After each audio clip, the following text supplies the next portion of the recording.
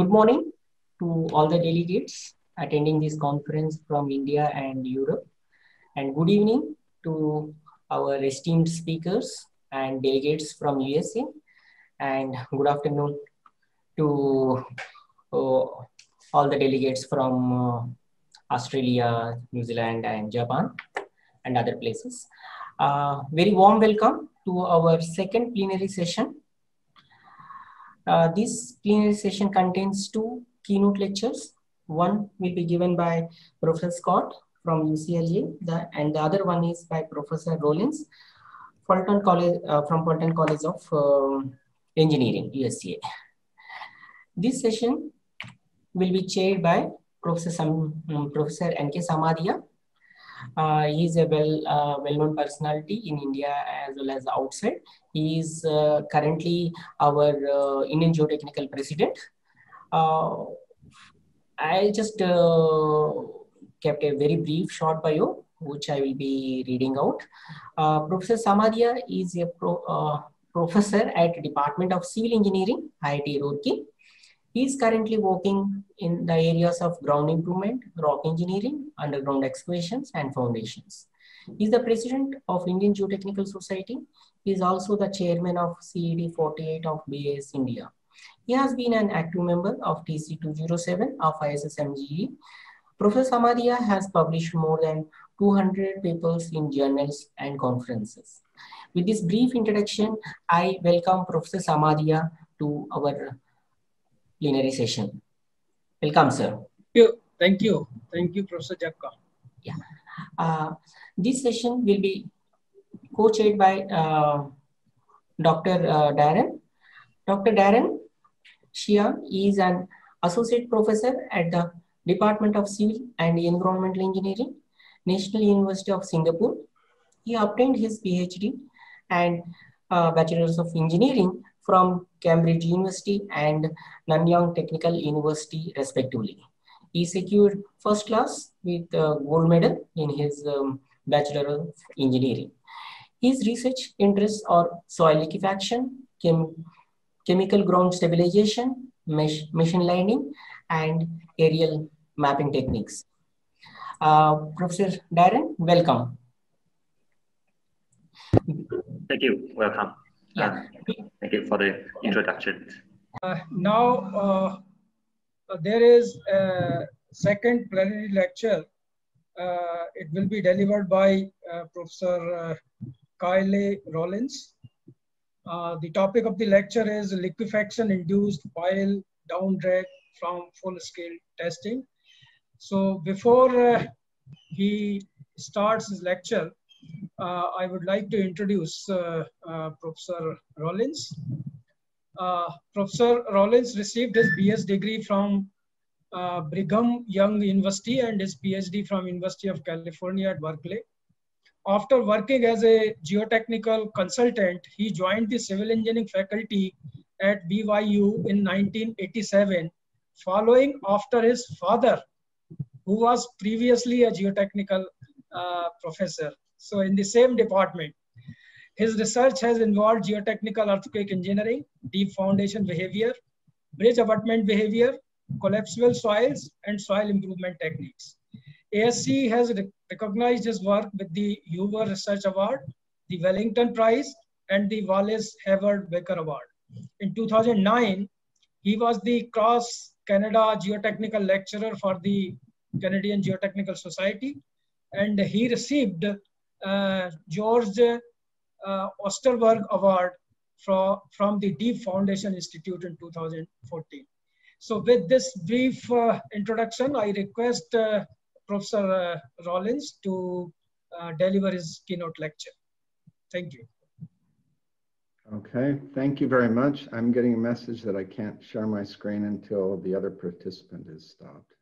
Yeah, Mr. Uh, Rohit, can you please allow? Okay.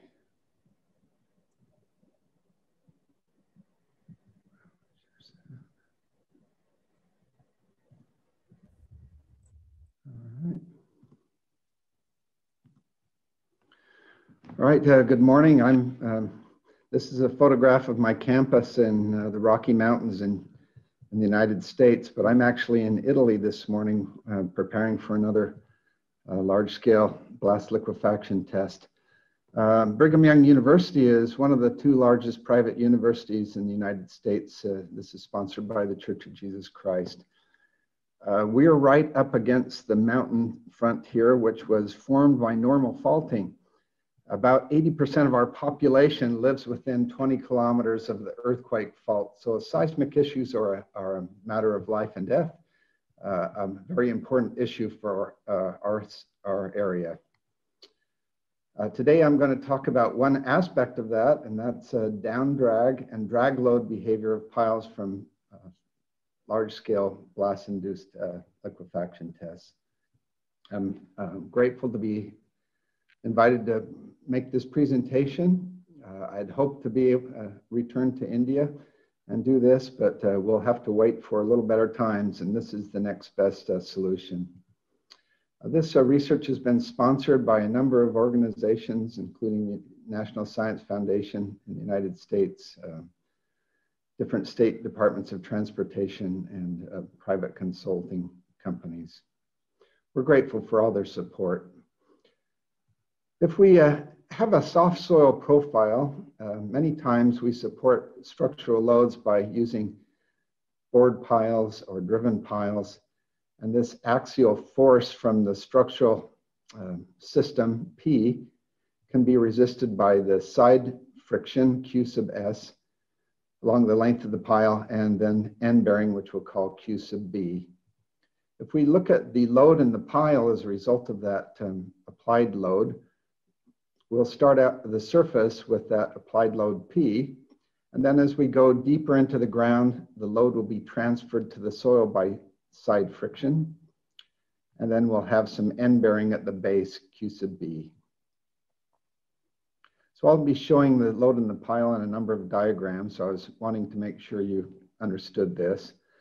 So we can, any, any time we develop load, we have some settlement that occurs and at the toe of the pile, we're going to plot the end bearing resistance or the toe resistance, QB, as a function of settlement.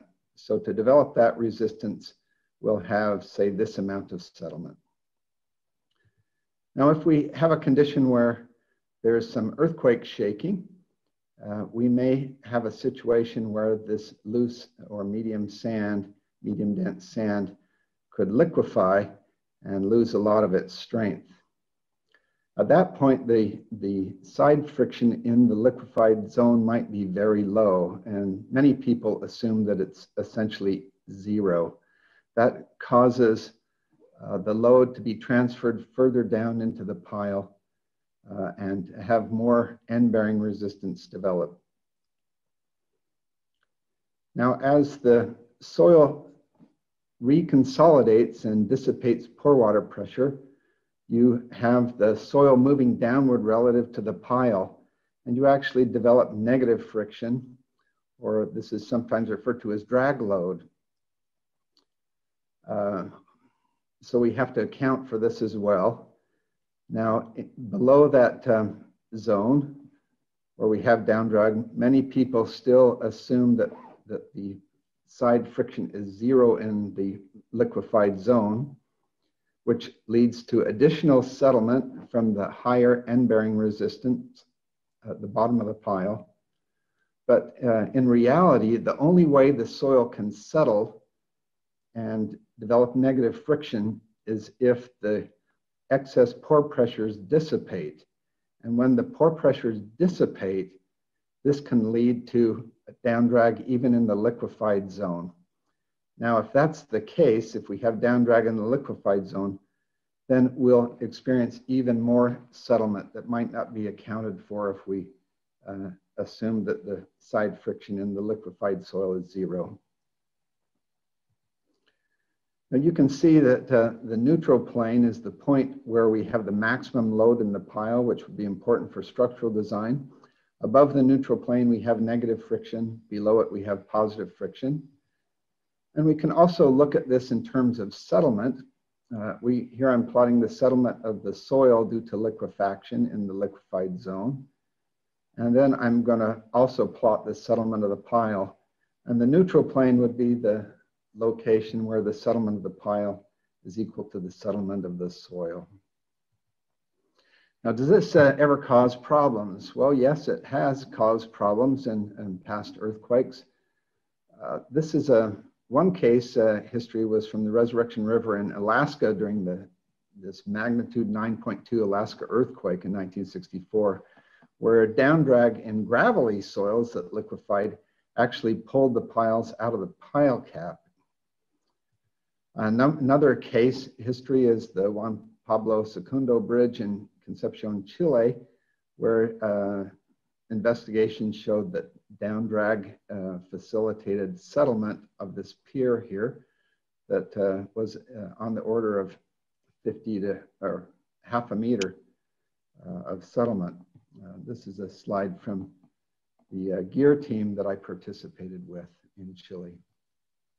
So some of our research interests are to measure the development of, of negative skin friction during liquefaction and reconsolidation, to determine the skin friction in the liquefied sand, to determine the skin friction in the non-liquefied soil above and below it, and to see if this neutral plane concept that I've described really uh, does uh, can account for the, the pile settlement and the soil behavior. So I'm going to describe several case histories where we've performed testing of this to investigate these components. And then if uh, time permits, uh, sketch out an outline of how this could be evaluated. Our philosophy is that one good test is worth a thousand expert opinions. Uh, this is said by Wernher von Braun, the designer of the Saturn V moon rocket. And this doesn't mean that we're opposed to being experts. We all want to be experts. That's why we come to seminars like this. We think it's important uh, to know the latest developments. But what it does mean is that we need to know how the Earth really works. And once we've got ground truth information, you might say, then you can adjust your numerical models like uh, Professor Brandenberg just discussed so that they actually do match what uh, we see in reality. But not all tests are of equal value. Uh, Einstein once said a theory is something nobody believes except the person who proposed it. He had a lot of experience with theories. And an experiment or a test is something that everybody believes except the person who performed it. And this is, maybe you've had some tests like this yourself where you're not quite certain that everything was done correctly and the result is uh, exactly as it should be. So we have to look skeptically at, at what's done and, and see if it makes sense. So how could we investigate this down drag problem? Well, we could use uh, large scale testing in the laboratory. We could use small centrifuge models, which can be used successfully. We can use this large laminar shear box that I used at the University at Buffalo. But in this case, we have to construct the sand and it may be different than what's going on in reality in a natural soil deposit. If we move out to large scale field testing, we could go investigate sites in highly seismic areas and maybe we get lucky and have a site that was instrumented where we could have the have everything measured during an earthquake. This might take 10 or 20 years to get a result. We could also use vibroseis trucks like Professor Stokoe uses, but this uh, has its limits as well, and we can only test a very small volume close to the surface. So our approach has been to use controlled blasting uh, to investigate this problem. I should point out that no method is perfect. We learn a lot from each method. They all contribute to helping us understand the whole the behavior. So each piece provides a, a one piece of the puzzle uh, to help us understand the situation. First time we used this was the idea was, was at Treasure Island in San Francisco where we detonate small explosive charges in the ground. And then that uh, induces excess pore pressures so that the soil liquefies. And then we can test features inside, like in this case, piles loaded laterally in, in liquefied soil. The advantages here are that we can test at full scale. We have the native soil in situ with the real microstructure and aging that's involved. We can liquefy very large volumes at one time to investigate system performance, which I'll describe uh, in New Zealand here in a little while. And we can also liquefy soils to depths of 10 to 20 meters. Uh, we've also found that we can produce settlement that's very similar to earthquake-induced values, as I'll show later on. But there are limitations, of course, as with any method. The mechanism of pore pressure generation is not identical to an earthquake, and we need to do more research to help understand this. There's components of compression, but we think largely the pore pressures are developed by shear strains. We must avoid large vibrations and disturbance to adjacent uh, structures and people. And this uh, full-scale testing is more expensive than small-scale tests.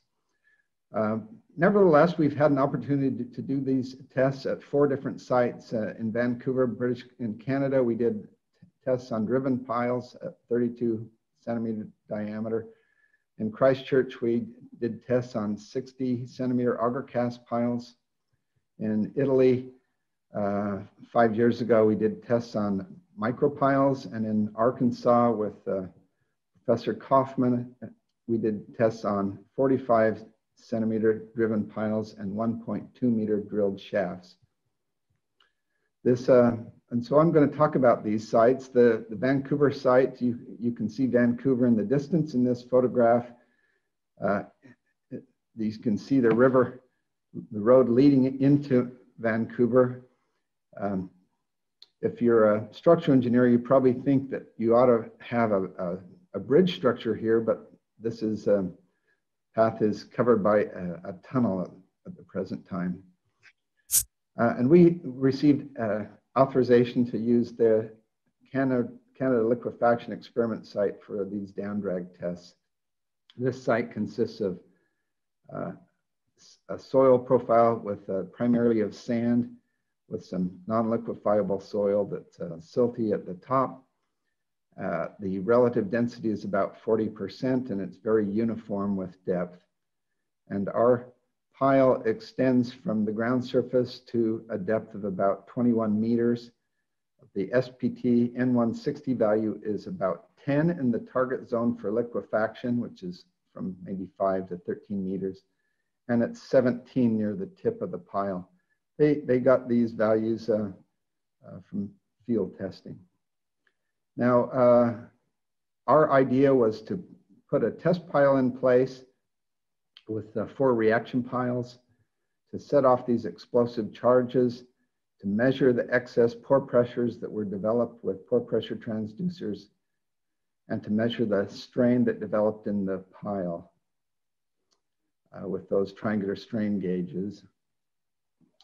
Uh, we applied load that's equal to one half of the ultimate capacity of the pile uh, prior to loading uh, or prior to the blast test. Uh, to monitor the settlement of the soil, we used a Sondex settlement pipe.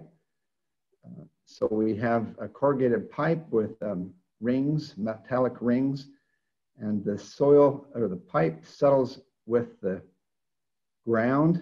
And then from this access point, we can see where the, where the soil has moved and gives us a nice profile of settlement versus depth. So this is a, a, a indication or a, a, video of that. Yeah, go!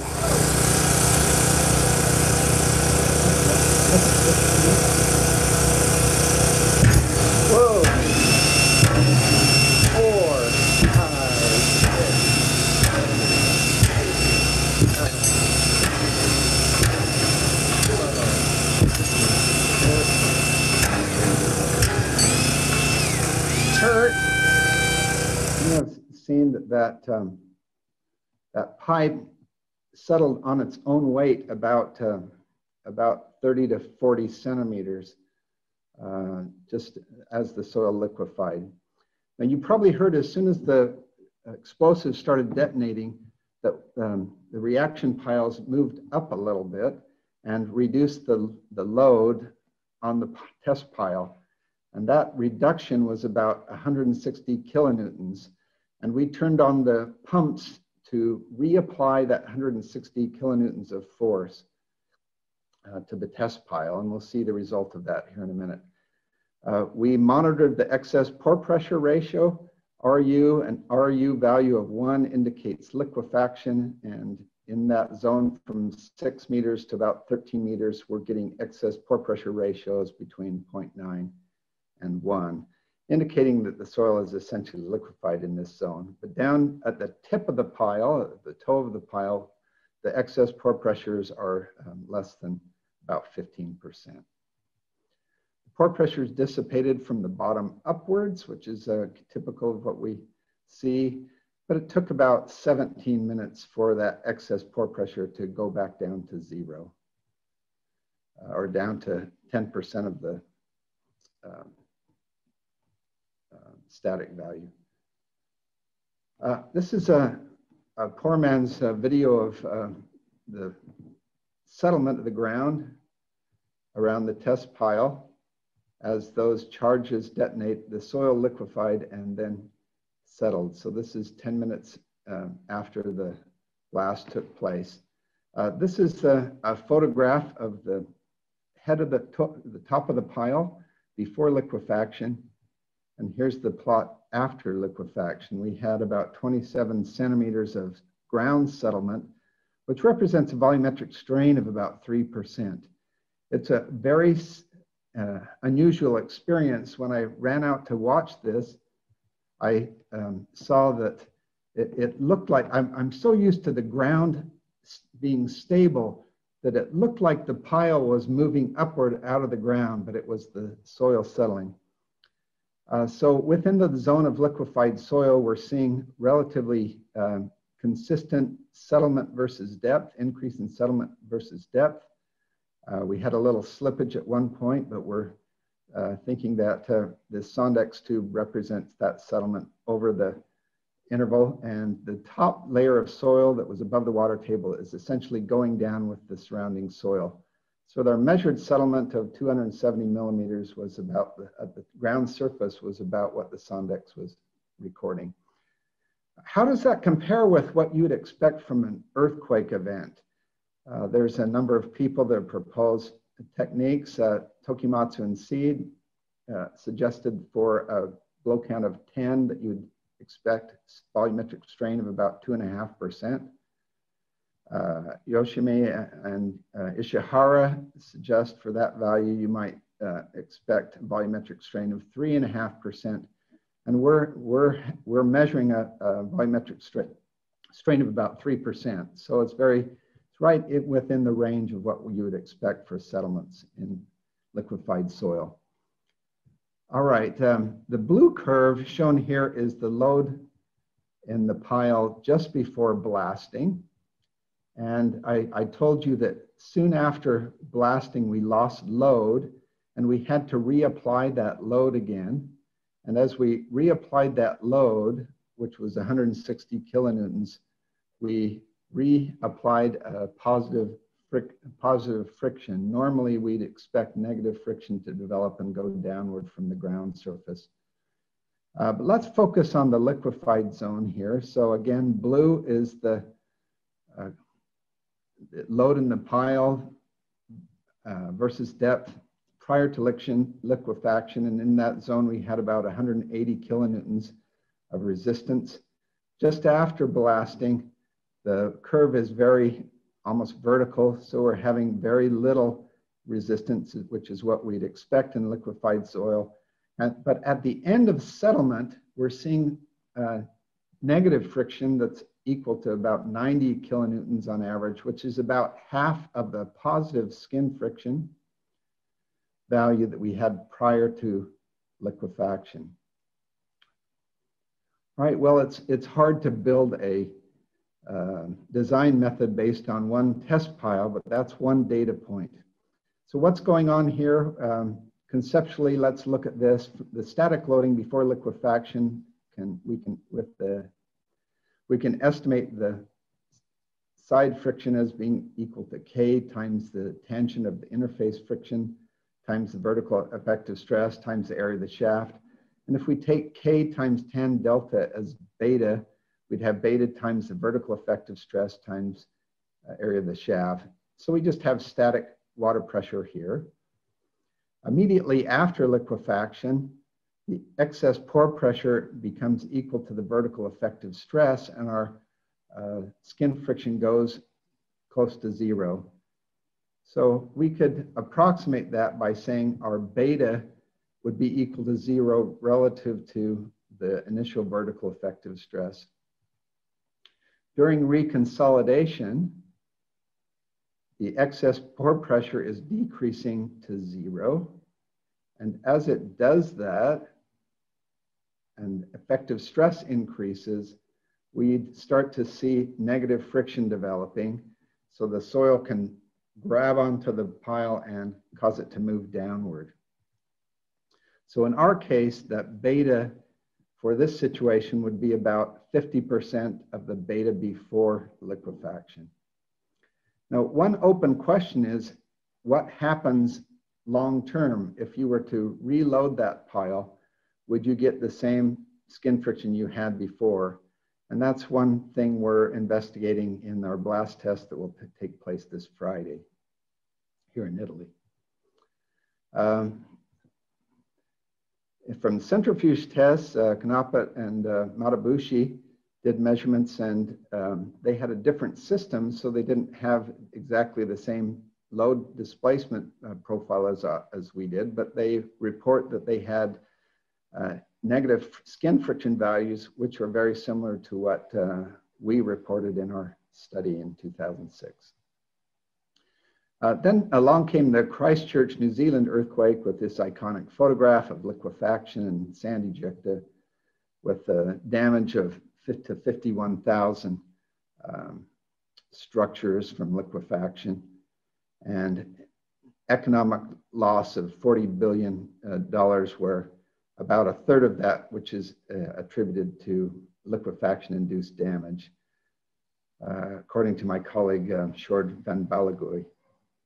So the, the New Zealanders wanted to see if they could improve a zone of soil maybe four meters thick to support the soil weight and let the soil underneath that improved zone liquefy so that they could um, minimize differential settlement and have the building perform in an acceptable way at a lower cost than they would otherwise uh, do. And so they uh, asked us to participate in, in creating liquefaction uh, in the underlying soil using blast uh, induced um, techniques. The soil profile at the site we were testing there in Christchurch is shown here. It's a clean, um, medium dense sand uh, with the water table at about two meters. Uh, velocity is about a little below 200 meters per second and relative density is about 60%. So we constructed um, three auger cast piles with a diameter about 60 centimeters. We monitored pore pressure, we monitored settlement uh, from our blasting, and we did in situ tests before and after treatment.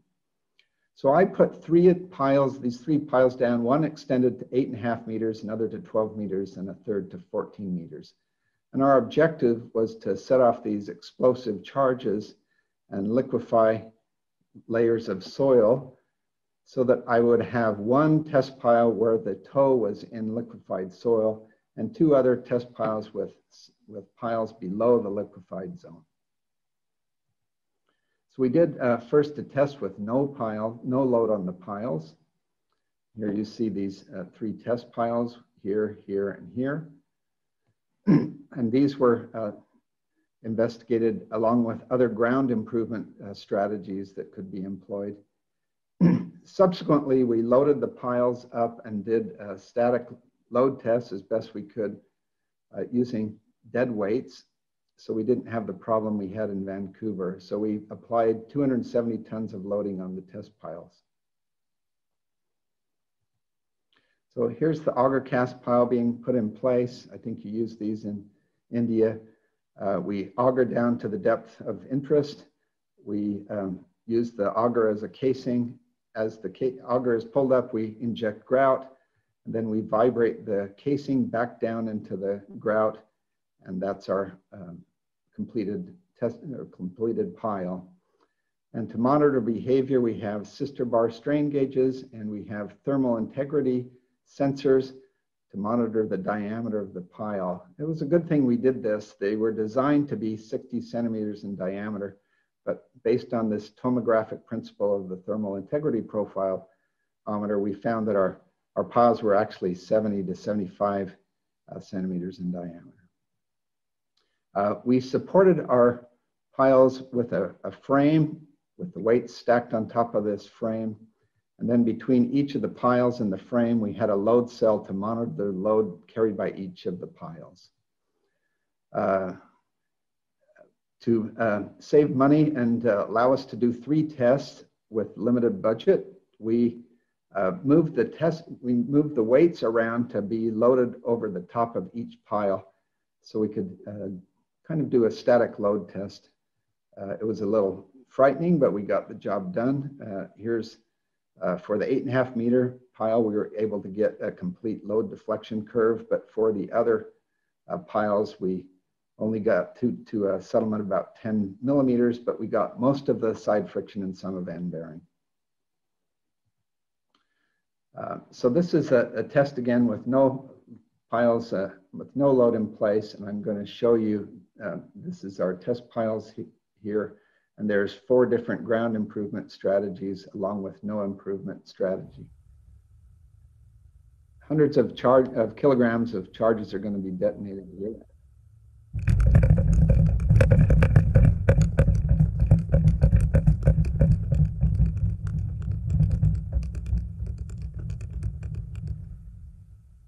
My wife asked me if they pay me to do this work because it looks like I'm just having a good time. Uh, what was the result of this? You can see that the water pressure has caused we, uh, the sand grains to, uh, that is not sand grains into the ground straight surface. out of the ground. And so we see these uh, sand volcanoes or sand boils forming uh, throughout the, the site.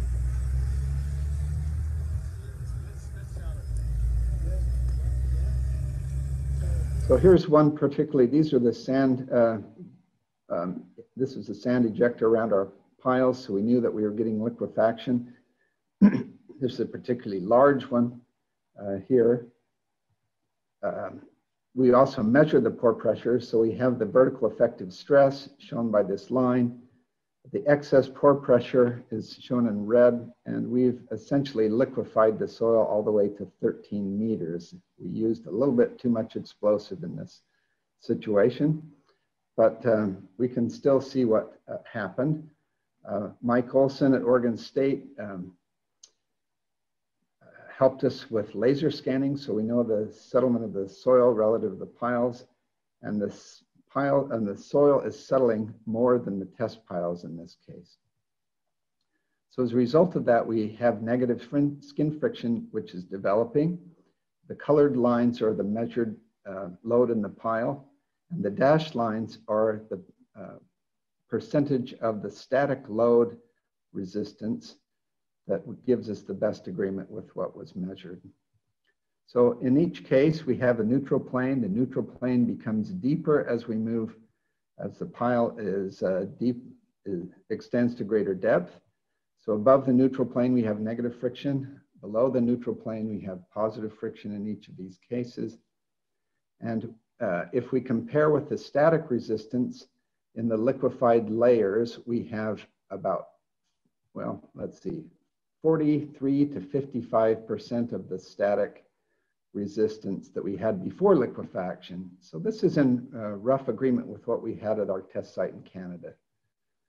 Uh, the neutral plane location is consistent with what we'd expect based on the settlement of the piles, which was encouraging. And then we did a, another test where we had the 270 ton loads uh, on the piles in place. And we started to get a little nervous about this because if, um, if this one pile settled excessively, the whole structure might tip over and uh, our, our test would be ruined. So what I did is shift the weights around so that the factor of safety was very low over the 8.5 meter pile and it was uh, deeper, or the factor of safety was very low sorry, did I say that wrong? It was high under the shallow piles and it was low under the deeper piles. So this is a video of that. Uh, I was quite nervous And the line shows you where we are.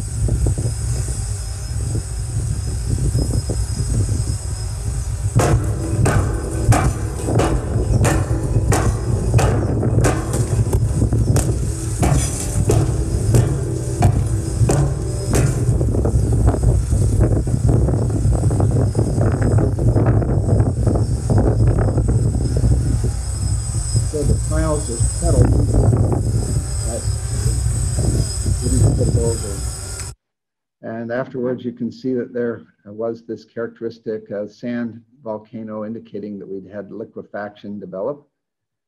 Uh, here again is the vertical effective stress.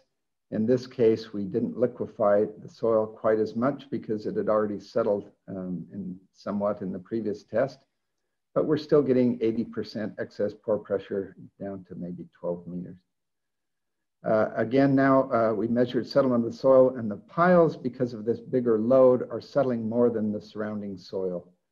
So if we look at the soil in the liquefied zone, we're seeing about 42% uh, of the static capacity in that zone. And below in the non-liquefied soil, our skin friction is about the same as the skin friction during the static load test. Uh, I'll show you maybe one more and then I need to move on. So we, we have um, uh, the Mirabello, Italy test, which is where I am today. This was a, a single micro pile. Uh, we're setting off explosive charges um, at two levels, about um, 1.8 kilograms and 2.5 kilogram uh, charges we monitor the settlement with the profilometer, the Sondex pipe.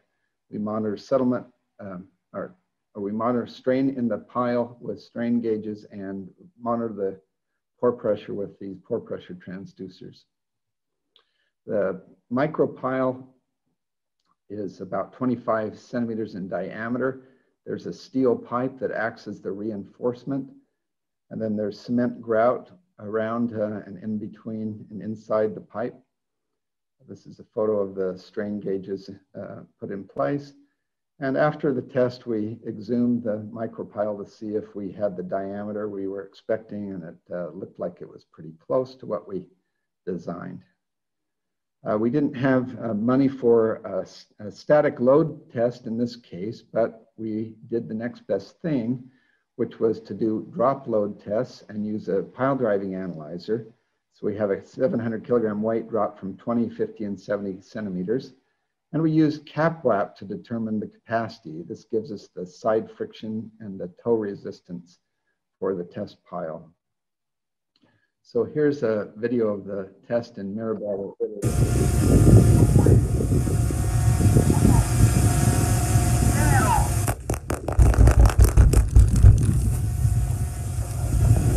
went off a little faster than we wanted to accommodate the driller, the blasters. Um, but we did uh, again see liquefaction. I'm just going to skip right to the end here.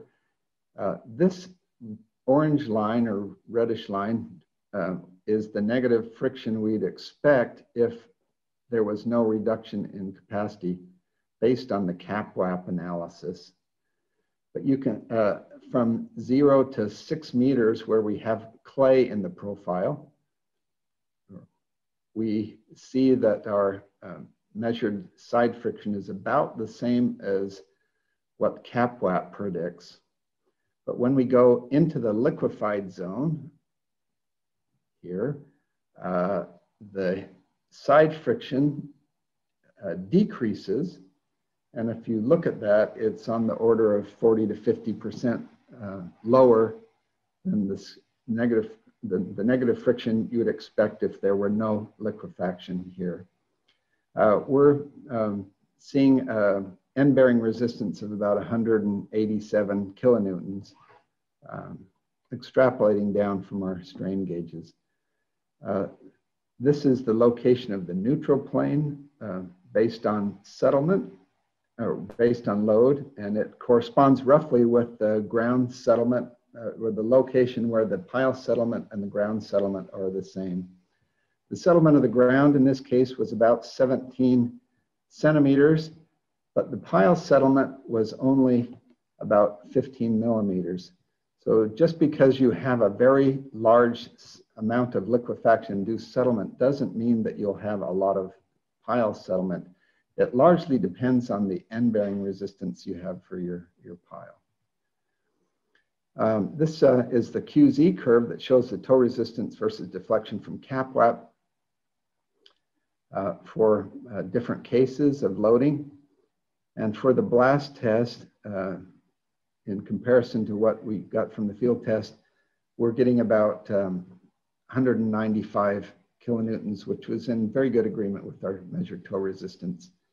In the non-liquefied soil above the pile, above the, in the clay, we're getting a, a side friction of about 82%, um, um, possibly due to some water moving up along the interface. And in the liquefied zone, we're seeing a, a, about 46% of the friction that we had before. Uh, one last test we did was in Arkansas where we preloaded uh, driven piles, a 45 centimeter diameter pile and uh, 1.4 to 1.8 meter diameter bored piles. And this uh, plot shows that we've liquefied a zone from about 9 to uh, 14 meters. Uh, the settlement in the soil was about um, 95 millimeters and the settlement of the soil was only eight millimeters because of the large end bearing capacity we, we still had. If we look at the neutral plane where the maximum load is the highest and the neutral plane where the settlement is the same as the pile, they're very close to one another. And the end bearing resistance at 600 kilonewtons is about what we would expect from the, the QZ curve uh, based on um, O'Neill and um, uh, Reese. So this all is fitting together quite nicely and, and the conclusions we're seeing is that in non-liquefied soil, the negative friction is roughly equal to the positive friction. In liquefied soils, the negative and positive skin friction after liquefaction and reconsolidation was somewhere between 40 and 55% of the skin friction before liquefaction. These results are uh, quite consistent for all the available tests. And now there are 14 test piles which are showing the same result. And, and they suggest that this might be a typical result to expect for design. The depth to the neutral plane increased and settlement decreased as the pile length uh, increased. And the settlement we're seeing is generally consistent with the neutral plane concept. There are some inconsistencies in a few cases, but it's generally consistent. So the way we'd suggest to design it would be first to determine the settlement versus depth uh, and assume a neutral plane location using whatever is your favorite method for estimating settlement. So this might be your zone of liquefied soil, and this would be your estimate of settlement of the soil. All right, and then you just decide on a neutral plane, um, and you'll have to iterate, you'll have to change the location to get agreement, but just assume some value to begin with. Now we're going to compute the load distribution in the pile. We'll have negative friction above the neutral plane, positive friction below our assumed neutral plane, and we'll use 50% of the skin friction in the liquefied layers. And we'll use this to find the toe resistance, uh, QB. So we would start off the load that we've applied we'd have negative skin friction increasing down to the our assumed neutral plane, and we'd have positive skin friction uh, decreasing the load in the pile down to the end of the pile. And this would be our um, toe resistance that we'd need to have for equilibrium on this pile. Now we need to determine the settlement of the toe of the pile, and we can um, do this by uh, taking the settlement of the soil at the neutral plane and subtracting off the elastic compression of the of the pile below the neutral plane. And this will give us the settlement uh, expected at the toe of the pile. Lastly, we can use the QZ curve to determine if the mobilized toe resistance is equal to the uh, toe resistance that's required for equilibrium. So we'll use that settlement, go to our uh, QZ curve for that settlement and get this um, required Q sub B value. And we compare those two. Are they consistent with one another? Are they the same? If they're different, then we need to revise our neutral plane location and repeat the process until we uh, get convergence so that the neutral plane, uh, so we get the same Q sub B for uh, both cases. And we think this uh, process could be something that could be used with uh, relatively little difficulty in routine design.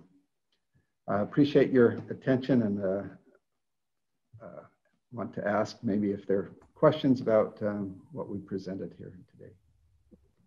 Uh, thank you so much, Professor Rollins. And uh, it was a, an excellent lecture. And especially you have uh, project, uh, presented the case histories, actual tests, actual tests. So we also say in Hindi that pratyaksh ko ki jarurat nahi hoti means if something is visible uh, before your eyes, then there is no uh, requirement of any proof. okay, so yeah. testing, uh, especially in geotechnical engineering, these field tests are very important, and you have shown the importance of these large scale testing by your presentation. So it was uh, an excellent lecture. Thank you so much for that. So now, I, now I request uh, Professor Darren to start discussions. Uh, hi, Professor. Um, uh, Professor Rollins, uh, thank you so much for the uh, for the wonderful um, talk. Um, well, I'm a more experimental person, so so so I can totally uh, enjoy you know what that you have done, the field work.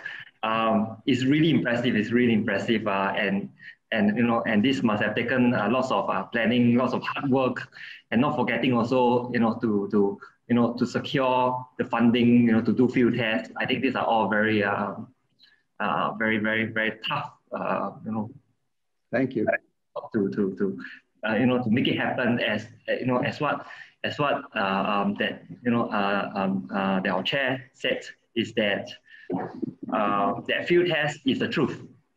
Is you know, so the results that we have gotten from field you know from field tests is uh, indeed uh, uh, very crucial for us to do you know be be it to understand the failure mechanisms, be whether to do calibrations for our numerical work. I think certainly all of these are huge, huge uh, contributions um, you know, that what that you have done. You know, thank you so much for sharing.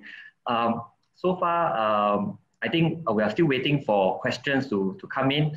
Uh, perhaps I'll just ask a question uh, pertaining to the blast, uh, the blast liquefaction um, experiments that you have done. Um, so, uh, I mean, based on your view, uh, how would blast liquefaction, um, you know, uh, be able to represent earthquake, uh, and especially when it comes to downdrag uh, of the piles, um, how would it differ? Because what I do see from your presentation is that the blast, uh, blast uh, liquefaction uh, occurs at the deeper depth, and then subsequently the shallower um, explosive is being detonated after that. So I'm just wondering, in this case, would the liquefaction progress from the bottom up, whereas in the case of uh, earthquake-induced uh, liquefaction, the, uh, that the liquefaction generally uh, develops from the water table to the greater depths. So uh, would the analysis of our downdrag differs?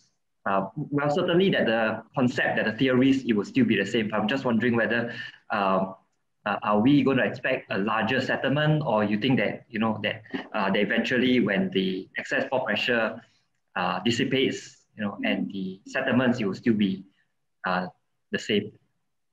That's, that's a very good question. There are certainly some issues involved and differences between what we do and what an earthquake does in reality, and, and we don't deny that. Um, we wish we could, we are, we're trying to detonate our explosives sequentially now with a second or so in between, so we at least have 16 seconds for pore pressures to develop. Uh, so it's more like an, an earthquake event. And, and we blast from one side to the other, so we have a wave front going in two different directions to try and better simulate this. But we, we can't do it completely.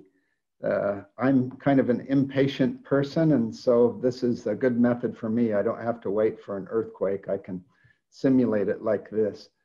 Uh, my colleague uh, Armin Stuedlein at Oregon State University has done some testing, and um, his results seem to indicate that most of the pore pressure that's generated is due to shear strain rather than just compressive strain like many of us have thought for years.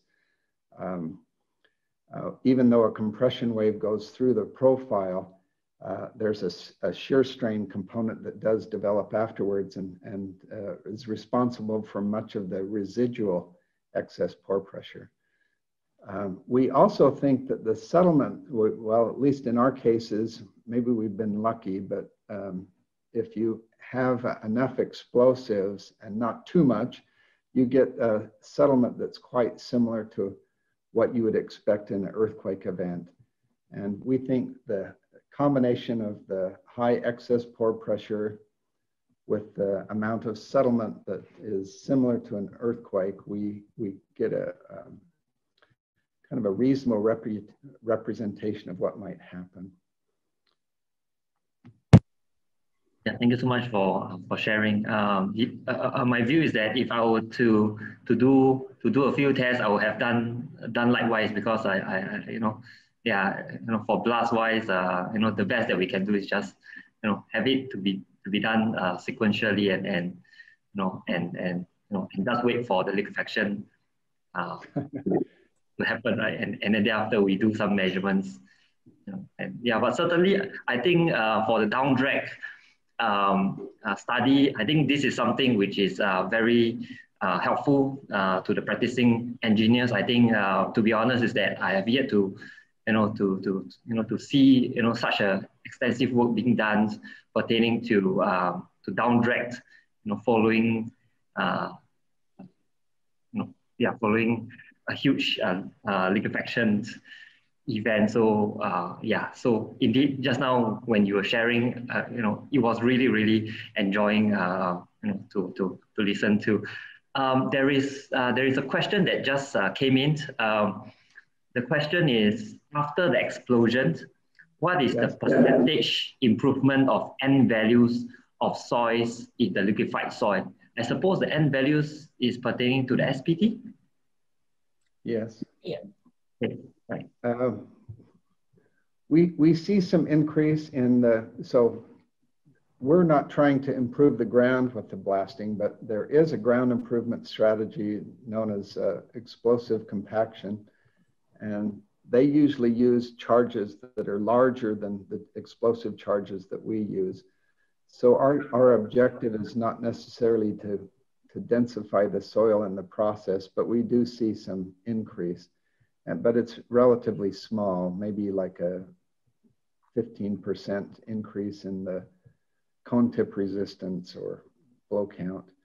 And many times uh, it's interesting to me that um, after the liquefaction takes place, these soil particles are forced apart and the structure is kind of disturbed and disrupted.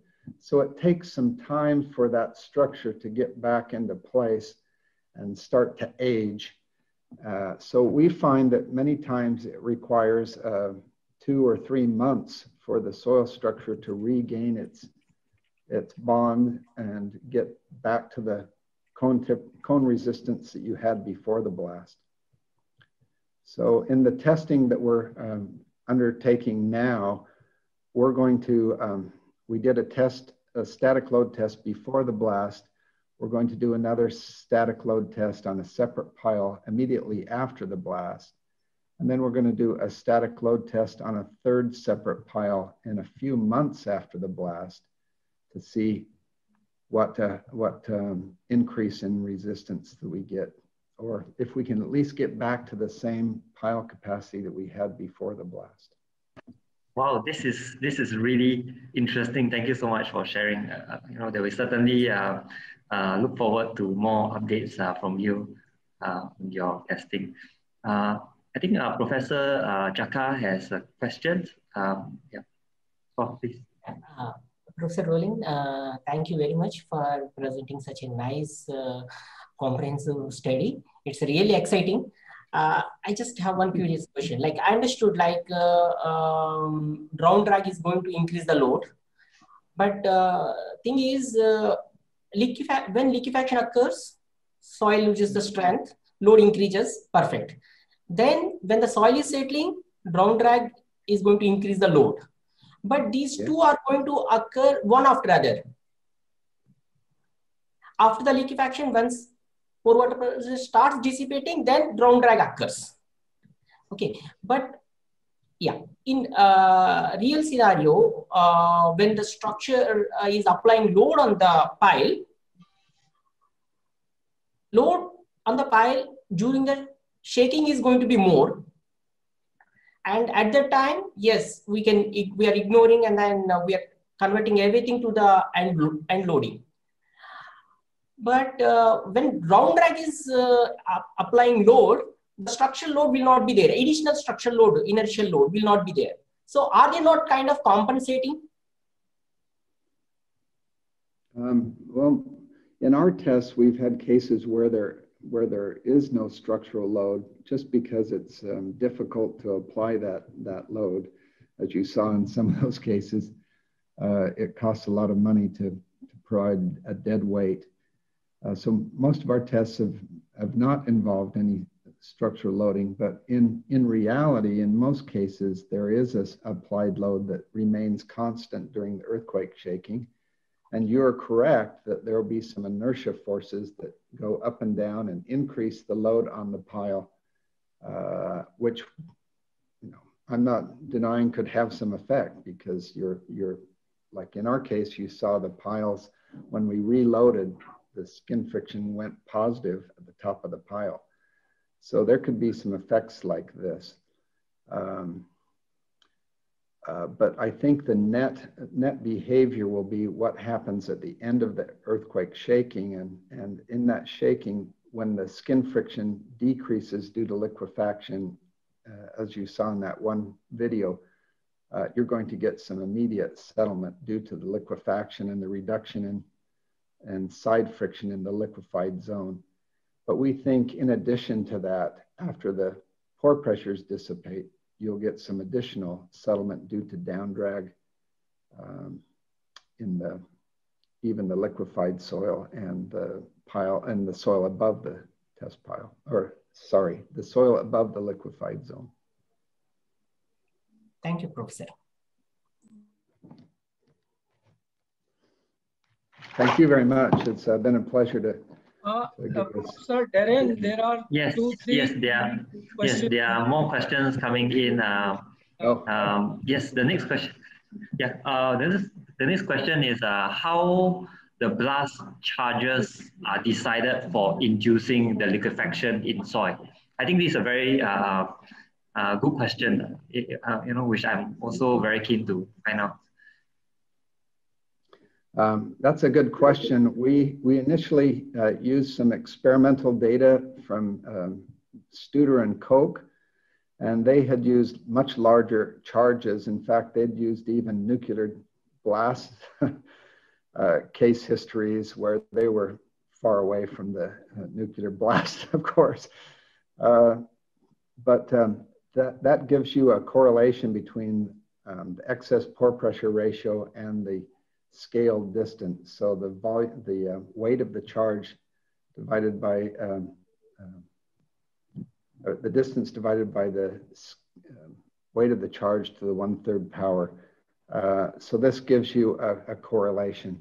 And since that time, um, Professor Ashford and I have done a number of tests and combining all that data together, uh, one of his students has uh, provided an improved um, equation that, that accounts for the weight of the charge and the density of the soil, because you can expect that a denser soil will take more energy to liquefy. And third, um, the depth. So as you go deeper in the profile, it takes more energy to liquefy the soil as well. And we we found this out experimentally at our site in Arkansas, where we were trying to liquefy to a much greater depth. So the, the, there's an equation for predicting that behavior now. Thank you so much uh, for the sharing. Um, the next question is, um, uh, during the blasting, could you obtain the acceleration data generated? Uh, yes, we could. Um, we have our, our, colleagues here from the Italian Institute, National Institute for Geophysics and Volcanoes, and, and they set out a large array of um, ground motion recording devices, and we also measure acceleration um, in the ground itself.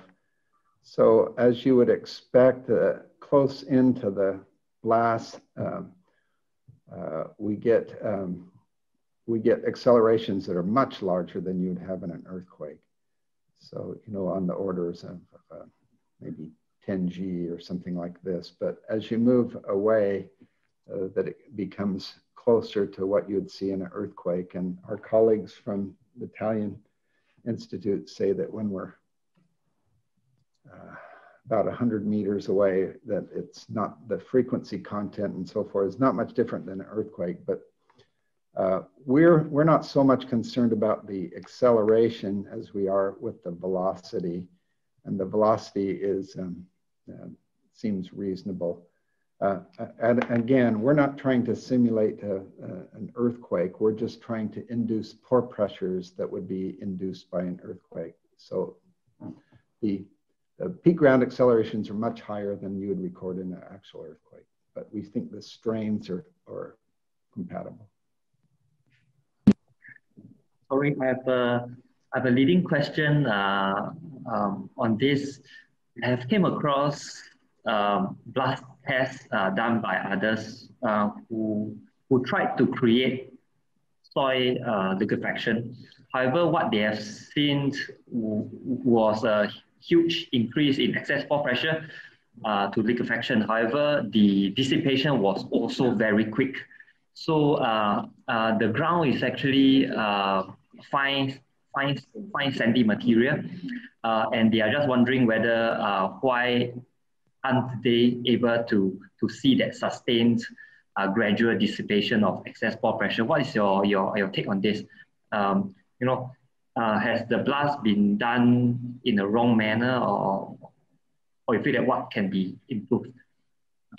Um, well, we, we try to uh, liquefy a, a, larger volume. So we, we've often used a ring that has a radius of about uh, five meters uh, in our test to, on Friday it's going to be have a radius of seven meters because we're testing a pile group. So um, having a larger volume um, of liquefied soil will cause it to um, dissipate slower. So in New Zealand, we had five uh, different rings and there was a large volume of soil that was liquefied. Uh, if they've blasted and have just a very small diameter, uh, then soil can, uh, pore pressures can dissipate horizontally and also vertically. And this uh, allows them to dissipate much more rapidly. Uh, the other thing that slows the dissipation process is that if you have a clay layer at the top, like in several of the cases, we had clay that was, um, well, in this site we're working now is six meters of clay. And so that takes, um, you know, it takes about an hour for the excess pore pressures to get back down to static levels. I see. Wow. Thanks so much for sharing. Thank you. So, thank you so much, Professor Brandenberg and uh, Professor uh, Rollins for excellent lectures. And uh, uh let us appreciate the efforts of both the professors by just clapping. And thank you so much for uh, giving uh, time to this particular conference. So now thank you so much. And now over to Professor Jakka. Thank you, Professor. Uh, first of all, we are thankful to both our speakers, uh, respected uh, Professor uh, Kyle Rollins and Professor Brandenberg for sparing their valuable time with all of us. And I also thank our chair, Professor Samadhiya, and co-chair, Professor Darren, for nicely and lively conducting this session. Thank you very much, sir, all of you. I request all the participants uh, to move to the parallel halls. Uh, maybe we are, I think, little bit uh, running late. So maybe in few minutes, we'll be starting in parallel halls. Thank you to one and all. See you.